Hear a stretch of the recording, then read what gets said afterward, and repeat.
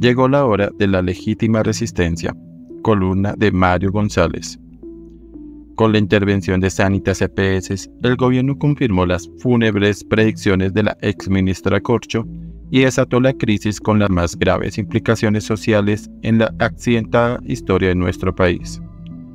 Destruir el sistema de aseguramiento en salud que nos garantizó cobertura universal con igualdad de derechos para toda la población es el mayor desastre que nos han obligado a padecer e instrumento de retaliación por el hundimiento del esperpento de reforma el pasado miércoles en el Senado de la República.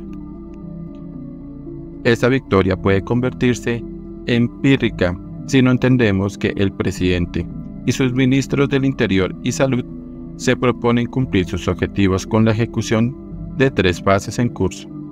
A. Uso y agotamiento de las reservas técnicas de las EPS. B consolidación de un monopolio estatal. C. Colapso del sistema actual de salud.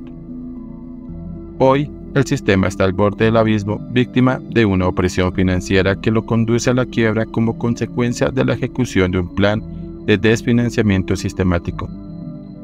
El puntillazo final lo logró el ministro de Salud desviando el 5% de los recursos del sistema para financiar supuestos equipos básicos, a pesar de las advertencias de la Procuraduría. Merece especial atención la confesada opinión del superintendente Leal sobre las EPS. No hay nada más malo que una EPS. Aupado en esa especie de revelación intervino también a la nueva EPS. A manera de castigo fueron nombrados interventores dos reconocidos incapaces, como suele ocurrir cuando se trata de militantes del mismo brevario ideológico del presidente. El resultado no se hizo esperar cuatro IPS y proveedores de Sanitas han dado ya por terminados los servicios.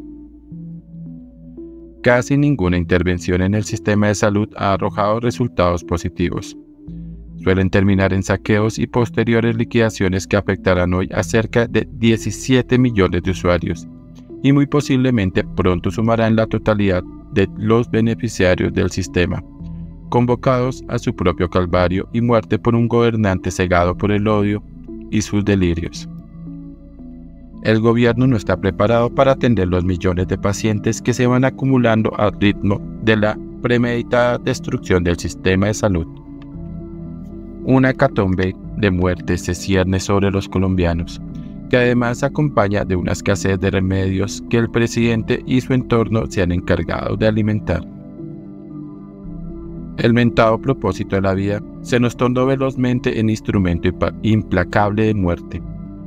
Hoy pretende la abdicación ciudadana y la convocatoria a que nos subyuguemos a una voluntad que no está lejos de darle razón al deslenguado presidente argentino Javier Milei. Este es el momento de la resistencia de ciudadanos e instituciones. A los ciudadanos nos corresponde defender la salud y la vida en las calles y con las herramientas jurídicas a nuestro alcance, y a la institucionalidad contener los desafueros del presidente para fortalecer nuestra democracia y el respeto a nuestras libertades de existencia.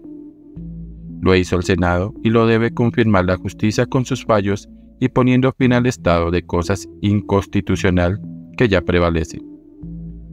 Y a la Procuraduría ejercer sin pausa sus competencias para que nunca más gobernantes en apuros atenten contra la vida de los colombianos.